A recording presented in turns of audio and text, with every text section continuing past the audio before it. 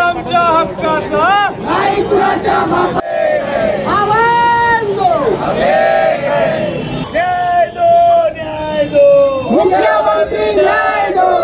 नमस्कार मी दिव्यांग शाळा कर्मशाळा कर्मचारी कृती समिती कार्याध्यक्ष म्हणून काम करतो.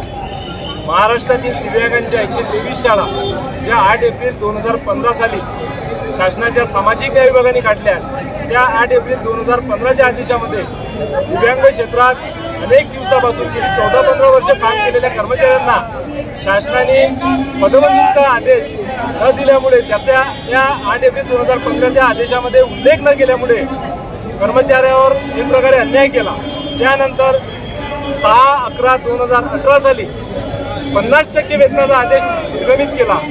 आणि पन्नास टक्के वेतन हेही दोन ते अडीच वर्षाच्या प्रलंबित काळानंतर मिळालं.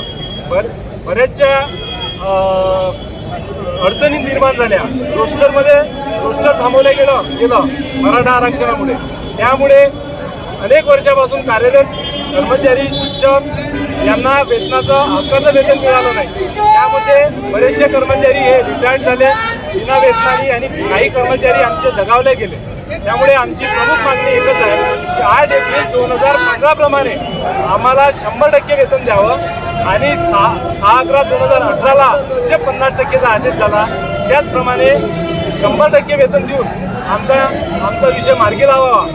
एवढंच आम्ही आजच्या दिवशी मागणी करतो आणि आज आमचं निवेदन मुख्यमंत्री महोदय यांनी स्वीकार करावा अशी अपेक्षा